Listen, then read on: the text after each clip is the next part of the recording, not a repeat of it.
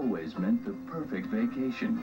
A vacation without the worries of getting from place to place, packing and unpacking, or checking in and out of hotels. Now the fun and luxury of a longer cruise are available in the space of just a few days.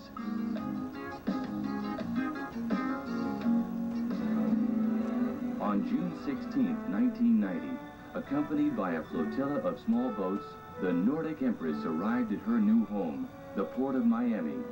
Nordic Empress is Royal Caribbean Cruise Line's newest ship and its first ship designed specifically for three and four night cruises.